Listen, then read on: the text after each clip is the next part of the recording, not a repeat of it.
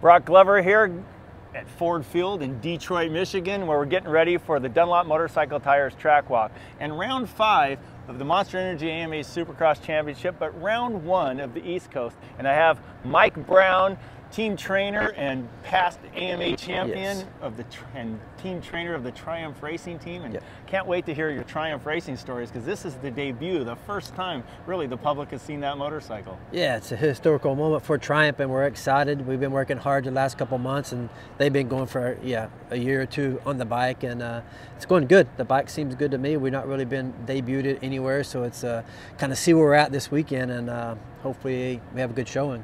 Well, let's check out this track right now. I mean, this is the again the first time the Triumph 250 is going to be out there, and you've got your riders Jalek Swoll, yep. and you've got Evan Ferry making his pro debut. Is that right? Yes, sir. Yep. And uh, they've been good. Like uh, like I said, Evan's brand new at this sport, and he's learning a lot. Each day he's getting better and better. And Jalik, the veteran for our team, is. Uh, yeah, he's, he's a good rider. We just got to get him uh, focused, and, and, we worked on a lot of things this off season and getting the bike dialed in. So looking for good things with him. Well, great. Well, we're heading off to start right now, and this dirt, if you remember last year, was kind of it was pretty much brand new. They'd screened yep. it, and and and it's some of the better dirt in the series. Uh, everybody really likes it. They got it really clean, very few rocks in it. And we're heading down this start. And if you notice here, we're on a football field, the stadium. It's definitely a smaller footprint. But right here, this is a short run across the, and we're talking about 170 feet or so before you got to make a sharp left-hand corner here. It's a, it's a full 90 from the inside. Yeah. The outer gates, it's probably maybe a 110 degree or so, but yeah. it's at that point coming into right into a tabletop setup, this corner right here. So if you've got your line, and we got to watch this section in, in practice there, but the hot ticket was to hit this right here on this table and downside that table if possible. So yep. what were your riders saying about here when you got the when you talked to them after press day? Yeah, that was good. If you can get down the downside of the tabletop and triple in, but it's like a small mistake, then you're doubling through the section. So got to be precise. Get down the backside. I think there's suspension coming here, and everybody's kind of always like running a little soft. You got to have stiff suspension because the jumps here a lot more G'd out than what we have at our practice track. So they're noticing that like bike's a little bit soft. So yeah. getting clean on this here to get the triple, triple single on this is uh, it's going to be the hot line. Yeah, you were talking about how being precise here. If you do make a mistake, you lose a lot of time. That's yeah. what's kind of nice about this section. I think it's actually a very well designed, built section. Yeah, yeah. When you land on this tabletop, real simple, clean, on, clear that next one, and then you've got a big five footer behind it, followed by a couple of smalls, and then another five. Yeah. So if they were landing on this, clearing this next one, you had a triple and then a triple into a 180 corner. I think but, that's the main safest yeah, line. If you can't yeah. get down the backside, most people's going to be going off, off, triple, triple. Then. Yep, and then the A riders, if you would, and the 250 top 250 guys. We saw Sexton and some of the other riders out here during press day. Yes. Downsiding this right here, so really that would be you know a great run, taking off on the small. small. And then Derek's walking up the five footer, so you can see he's way above us here. So they're clearing the tall one, landing the over on the other three footer and then launching another three footer to clear the tall and landing on a three footer. The other triple, yeah. leaving themselves at the very end of this just one small single. three footer single into a 180 bull corner. Exactly. So we got it was you know a luxury for us doing the track walk to actually see the riders yes. try this section when they're doing it in press day to see which lines worked. But I did see a lot of the newer riders and uh, struggling a little bit back there trying to do that faster combo. Yeah. And they ended up losing so much more time. Unless they can get it down for the race, they need exactly. to just go back to the consistent one so they don't yep. have one of those catastrophic laps or two that they're losing two losing or three time. sections. Yeah. Yeah. Then you got so, a double double and then triple into right. the corner. So it's yeah. We did not get to see really when they once the top riders were tripling, they were landing into the face of this one right here with this Honda Tough Blocks. They were just coming through here and going here, and cutting across yeah. because of press day. They yeah. didn't. They cut these two lanes out for press day, but they're going to be hitting that bull, so they're going to be launching that single, probably landing up in the bull. Yep, and right here, a little bit of the reverse version of it. Right, this section coming over and up onto a table there. What do you think here, Mike? I think this thing over there, if you can get over it and then maybe double, triple out or on, off, triple, single. Like we, like I said, we haven't seen. I think it depends yeah. on the dirt, how rutted it gets, and uh, for me, I think it'll be on off, and then get through the rest of it. Yep. Well, we got one little section where they just watered. We were trying yeah. to we were trying to beat the watering out, but man, it's uh, we're gonna need our mud shoes, mud tires, yeah, which neither of us have on. So try to stay upright here.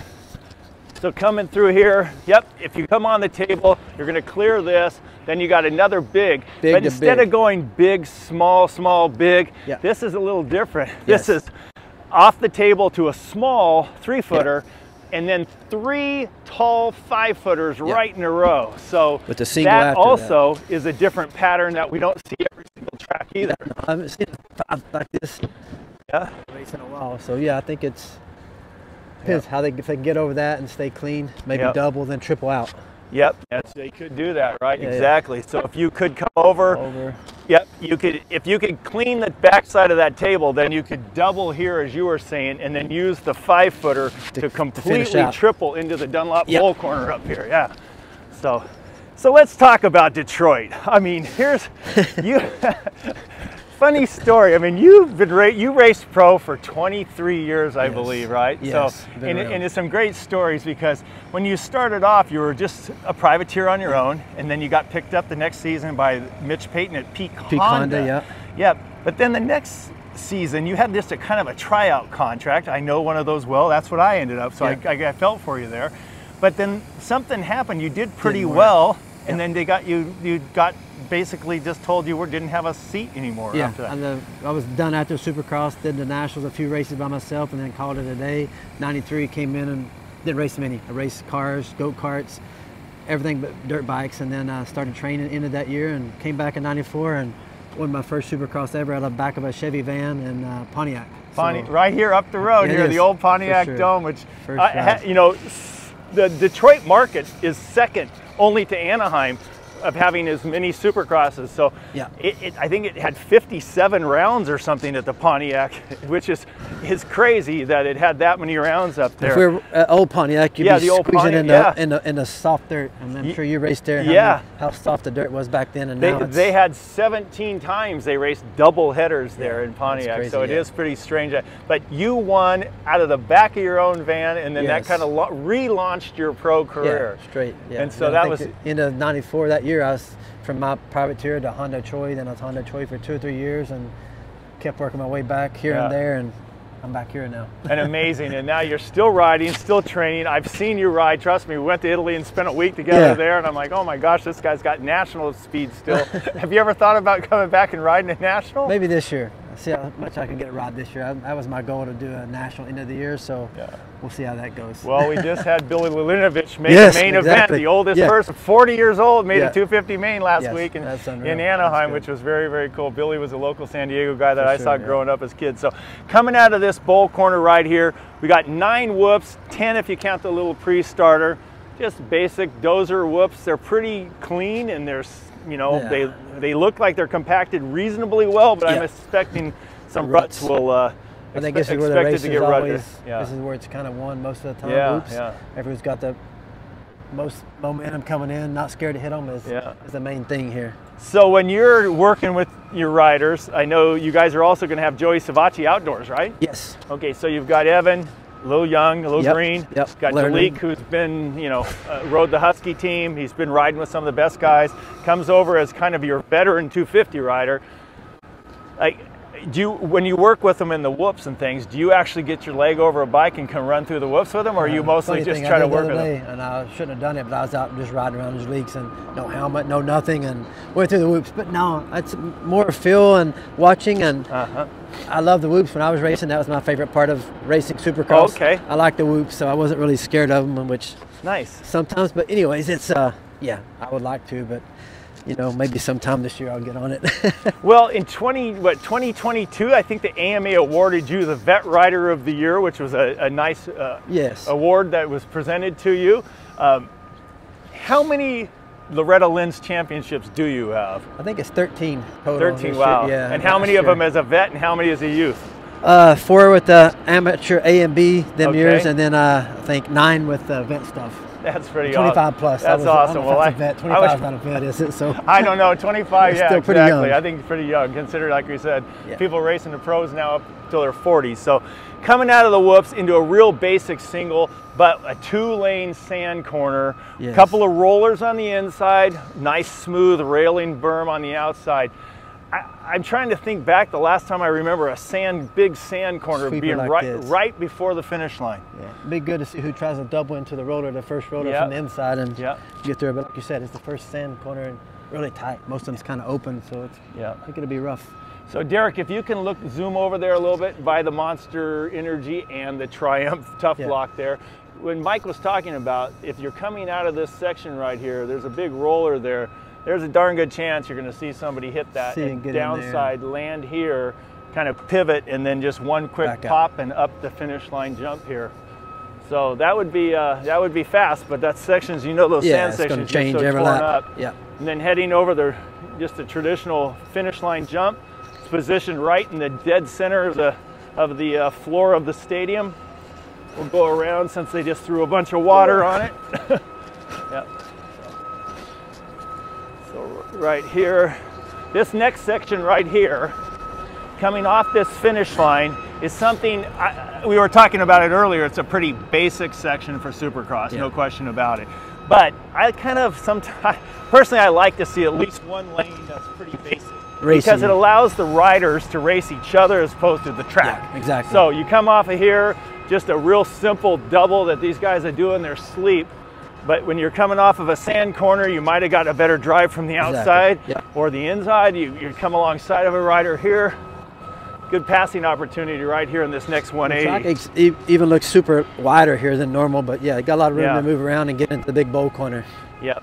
So this track, because it is a smaller footprint, they modified the original layout over on the starting line area. It's coming in around 1,650 feet, Yeah. which is right about what Indianapolis was last year. Yeah. And we saw 45 40, second yeah, lap times. Quick lap times. a lot of laps, a lot yeah, of laps and heats in the main. Yep. Main event 250 could be 21 maybe. Yep. And you know somewhere around there, and then I think 450 450 could be as many as 26, 26, 27. 27. Yeah, exactly. So that being said, that's a that's a lot of laps to keep your focus, but also it's really hard on the track. I mean, these Yeah, up 450s quicker. tear up. Yeah. They tear up the, the you know so it's. Uh, who would have known we were going to have the national anthem? We have to take your hat off and observe this. so we're going to. Uh, so apologize for that. We were not told this was going to happen. So we'll try to talk loudly, 'Kay, and uh. We don't mean to disrespect our national anthem. That's it's, a, right. it's a warm-up rehearsal, and Yeah. so. Coming over this right here, we were seeing the riders. Derek, I don't know if you can position yourself to where you can see that the riders were tripling on here, Here. And, and Mike and I are standing up on a little knuckle where they've got I'll it knocked off over here. So here, Here's more they rolled off. have it. So what they're encouraging right here is to downside this. Tri- yep, trip quad over and then triple double, So which I think Chase Sexton did in a, in a practice. So I think, like I said, it depends on the, how the track deteriorates and uh, yeah, it's, a, it's a, another tricky section like the first one. Yeah, so yeah, so you were talking about Chase. Uh, so we give her a little applause. Thank you, Chase Sexton, right down here was basically downsiding this, and at this point right here, he was checking up to double this, and I mean checking up because I, I don't know that you could actually triple that. That pocket right there, that's actually Yeah. like a A hot dog kind of. yeah, like a hot dog bun is a good Yeah, yeah. description. It's a pseudo tabletop. So check up here for a double, but then launch that into the triple. Other riders that were coming off of that up onto the table, they were hitting the knuckle, landing here, the and then tripling over this hot dog bun. Yeah, I'm gonna, can we that phrase? Yeah, exactly. Hot dog bun here. So they were uh, jumping over the top of this right here, Double into the corner. Yep, and then, or if they were clearing this, they were singling into the corner. Yeah. So, another great uh, design, in my opinion, where it's got multiple options. Yeah. We saw that very first lane that had all the different options. This has some options. So, doing so, you know, as the track ruts up, you might be eight, 15 laps into the race and you're looking for an alternative, line, yeah, yeah. alternative rhythm section. And So- that happens a lot on the main line. Then you can get off Yep. kilter, I guess you'd say, and then Yep. jumping where the ruts are or not. Yep, off rhythm, and so that you never know. You can get off rhythm on those Yep. guys and have an opportunity to pass, Yep. or if the other riders maybe make a mistake or something. Yes. So always stand up on these triples. Does it always seem far to you? Yeah, When I look over that there, was like, almost as big as this one. it used to be it's really huge. small. Yeah, the triples are usually that one's as big as this. You could Yeah. run this track both ways, I guess, both Exactly. directions. But that's a good size. It, I'm sure it's measuring right around the normal 60 some 60 foot, feet, yep. but it's it seems far to me every time I stand up on Yeah, top for of one. sure. So, so triple jump here. They weren't having any issues with it in press day, and then coming here, this is another section where you're going into a, a, a little bit of a rhythm, a little a knob, and then you want to scrub this first one and hit the next one, and it launches out onto the starting start. Uh, line there. Even in press day, they was getting really rutted and like G'd out in the faces thing, and you see people having struggles with that. So Yeah, right before we that'd be- Yeah, right before we started this track walk, I saw Corey and the guys from Dirt Wurx. They're over here packing this down further, Yeah. trying to get it cleaned up. But this was one of the more rutted jumps. Yeah, as the riders hit it with a lot of speed. So you never know. The dirt might have gone in later, or didn't have as much chance to dry. But uh, yeah, it's a pretty pretty simple shot all the way through here. Yeah. So talk It'll about the Triumph Racing programs. Let's not talk about Triumph Road. so, well, the good news is we're almost done with the lap. yeah, So, you never, you know, you never know when they're trying to give us the, the slot to do our track walk. Yeah. What's going to go on? They have so many moving parts here with VIP tours and, as you saw, national anthem practice and rehearsals and there. So, we appreciate everybody watching here. Yes. Um, next week we are off to Glendale and uh, we'll be. What will be round six of the 450s and back to the West back Coast. to the. West Coast for sure. Yeah, then back so- uh, so- weekend off for everybody. Then Yeah, yeah. So, what are you guys going to do between now and then? You think reassess? what uh, guys- reassess, see what happens Yeah. tomorrow night, and hopefully everything's good, and we just keep building on what we got, and uh, you know, be back in Dallas ready for more.